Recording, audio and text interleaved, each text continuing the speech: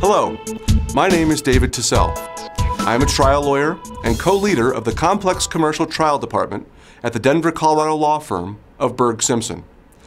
Today's topic is the recent lawsuit filed by the U.S. Department of Justice against Wall Street rating agency S&P, what these lawsuits are about, and what Burg Simpson is doing to help.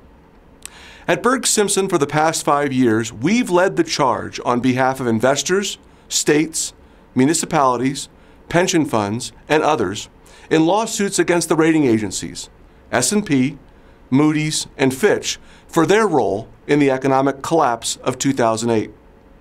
Last week, the United States Department of Justice filed a 120-page complaint against S&P alleging that the ratings S&P gave to numerous complex investments leading up to the economic collapse were fraudulent. The complaint alleges that S&P gave these fraudulent ratings intentionally in order to line their pockets with obscene profits. So why is this wrong? And why is it bad for America? Investors take risk every day on Wall Street. The fact that an investment loses money, or even loses a lot of money, doesn't mean the investor automatically has a claim. I agree with that. That is our free market system at work. Two sides are betting on every deal. The buyer is betting that the investment will increase in value. The seller is betting that it will decrease. Someone will win, someone will lose. That is the American way. But it's different when the game is rigged.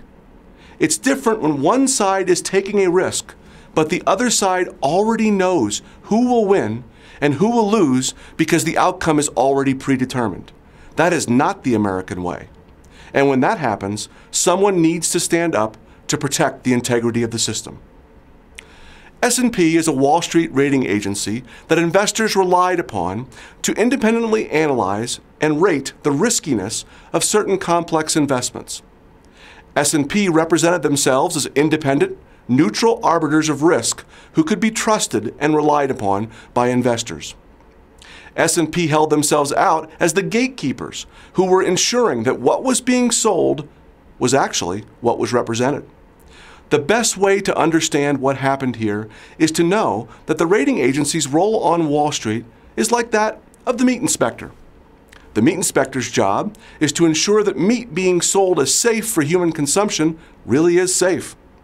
When the meat inspector stamps the meat as grade A beef, they are representing to the world their unbiased opinion that the meat is safe and free of contaminants such as deadly mad cow disease.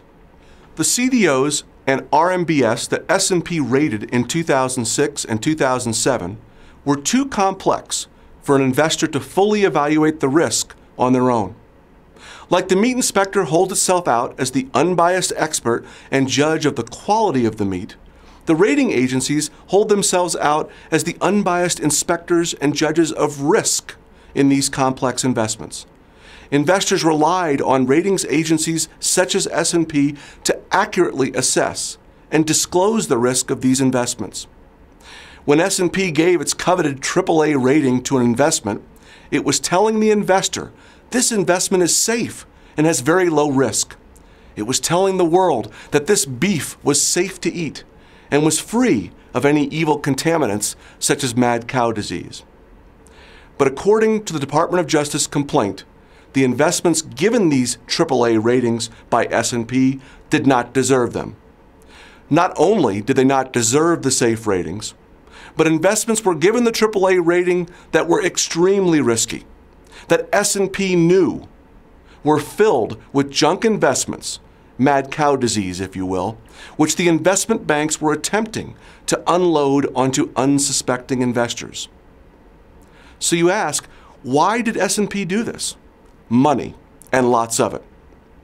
S&P held themselves out as the independent protectors of the investing public, giving large investment banks the cover to sell off their worthless assets to unsuspecting buyers. And S&P was paid very handsomely to do so. What S&P did, according to the DOJ complaint, was sell its ratings, sell its integrity to the highest bidder. This would be like the meat inspector knowing that the meat it was inspecting was filled with deadly mad cow disease, yet stamping it grade A beef in exchange for a large bag of cash. As a result, innocent investors who relied on the rating agencies to be honest in their assessment of the risk lost billions of dollars virtually overnight in the worst economic downturn since the Great Depression.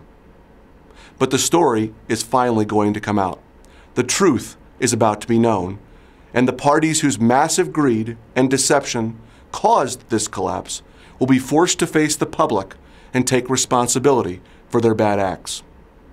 For that, I want to thank the Department of Justice and the many state attorneys general who have shown the courage to join this important fight.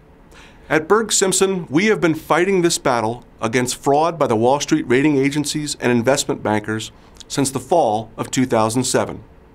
In the cases we've handled for states, municipalities, investment funds, money managers, and others, we've reviewed and compiled over a million pages of public and confidential documents, taken dozens of depositions of key players, interviewed several whistleblowers, and worked with some of the best finance and CDO experts in the world. We have worked with Congress and other governmental agencies in their investigation of this wrongful conduct. We have the unique knowledge and contacts in this area that only five years of intense experience fighting these cases can bring. While the recent news of the DOJ's lawsuit is good, this fight is far from over. Burg Simpson has the knowledge, experience, and legal skill to help you and your clients recover losses from the rating agency's fraudulent conduct on Wall Street. If you or your clients have a potential claim, please contact me, David TeSelle, at burgsimpson.com. I'll be happy to assist and evaluate whether your claim is one Burg Simpson would be willing to take. Thanks again, and keep fighting for justice.